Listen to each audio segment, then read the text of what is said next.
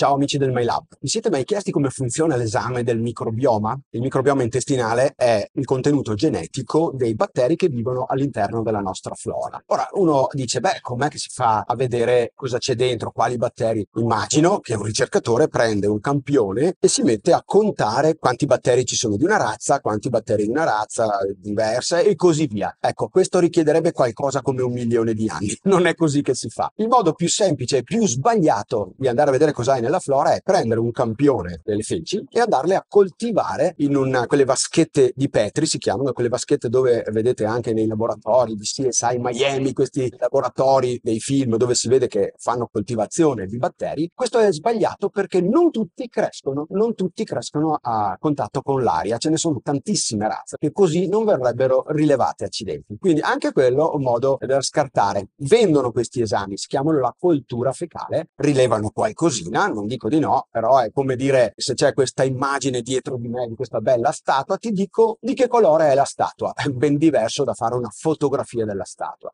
Quindi com'è che si fa fare una fotografia dettagliata con tanti punti, con tanta definizione del nostro microbioma? Ci vuole l'esame genetico, costosissimo, lunghissimo, ci vuole quasi un mese per avere il referto. Ahimè, io vorrei che fosse più veloce, ma al momento la tecnologia non lo consente. E il trucco è questo, perché sai, nell'intestino non ci rendiamo conto, ma c'è materiale genetico di tutti i colori. C'è il materiale genetico della verdura che hai mangiato, c'è il materiale genetico della carne che hai mangiato, c'è il contenuto genetico del tuo corpo, c'è il contenuto genetico anche di altri batteri che hai ingerito con l'aria e così via in realtà hanno scoperto che c'è un gene che si chiama 16S che c'è solo nei batteri e un altro gene 18S che c'è solo nei funghi. Cosa fanno? Loro sequenziano tutto quello che trovano. Pensate che razza di tecnologia, questa volta era impensabile. I primi esami del microbioma intestinale costavano 100.000 dollari e venivano fatti nei laboratori delle università e duravano tre settimane solo eh, questo sequenziamento. Eh?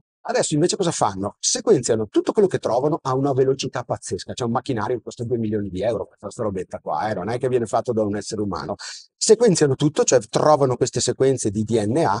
Quando trovano il 16S, dicono, mm, questo era un batterio. Bene, nella proteina del latte, che è un gene di mucca, non c'è questo 16S. Nel DNA del finocchio non c'è questo gene, quindi lo scartano fanno un censimento in questa maniera di cosa c'era esattamente nel tuo intestino da un punto di vista dei batteri solamente. Questo ci dà un'idea di cosa veramente c'è nella tua flora batterica, di quanti batteri di un tipo, quanti batteri di un altro ci sono. Ecco, questa è una fotografia con 30 megapixel della statua di cui dicevo prima e non solo dirti, vabbè, è grigia, è una statua grigia. Ecco, invece ti do i dettagli di tutto quello che avviene all'interno dell'intestino, potenziali patogeni, sono, sapete, circa il 15% dei batteri che abbiamo all'interno del nostro intestino sono potenzialmente patogeni, cioè sono patogeni solo se proliferano troppo, ma in condizioni normali hanno anche la loro funzione e fanno anche del bene. Quindi dobbiamo capire esattamente quanti sono, quanto invadenti sono diventati. In base a questo poi i biologi del MyLab ti aiutano a prendere l'integrazione corretta e l'alimentazione corretta per cambiare la situazione.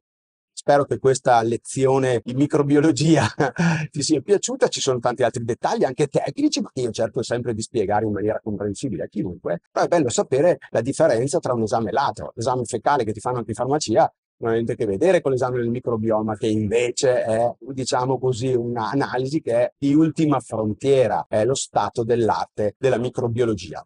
Detto questo, mi raccomando, approfittate sempre di quello che vi offrono i nostri consulenti. Prenotatevi una consulenza gratuita perché abbiamo messo in piedi un team fatto apposta per rispondere alle vostre domande. Io vi dico tante cose, questo scatena delle altre domande in voi, è giusto, è corretto, anzi bravi che avete la curiosità relativa al vostro corpo. Dovete quindi poi parlare con un esperto e andare a vedere cosa fa per voi, perché a volte non è detto che ci voglia tutta la fotografia della statua, magari basta sapere qualche informazione, che tipo di disbiosi hai per esempio, cioè quale tipo di disturbo intestinale, e poi andiamo a risolverlo facilmente. A volte è anche più semplice di quello che temiamo.